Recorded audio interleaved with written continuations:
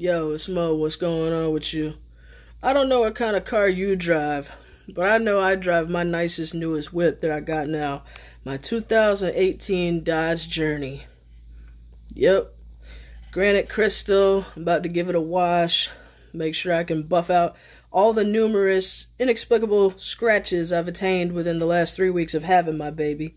And with that being said, that brings me to today's TikTok.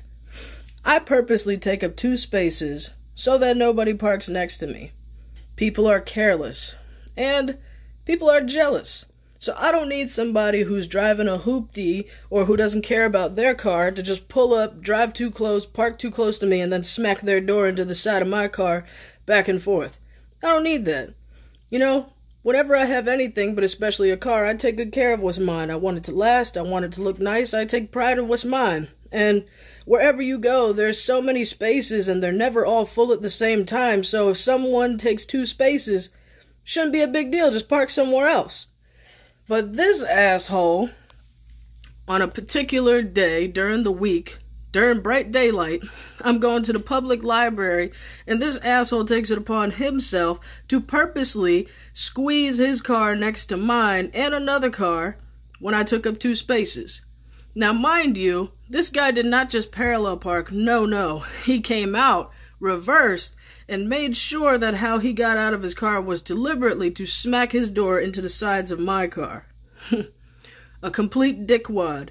And I don't know how he got away with it, but insurance said that because I didn't actually watch him do it, even though I took pictures, that because he denied responsibility and because his insurance denied responsibility, they did not have to pay for the scratches he put all along the passenger side of my SUV.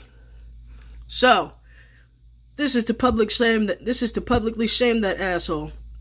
But at the same time to also give a public service announcement.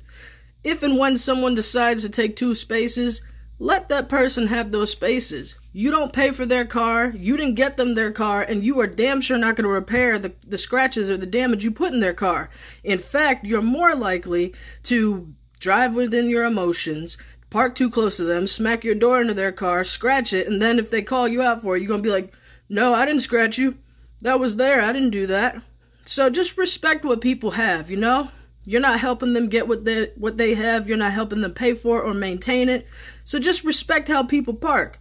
If somebody takes two spaces, they don't want no one parking next to them. That's exactly what I mean when I take two spaces. I'm not saying defy my respect and try to squeeze in between me and another car. What sense would that make? So I try to keep what's mine nice, and you should do the same, you know? If you want to take two spaces, go ahead. Don't hate though.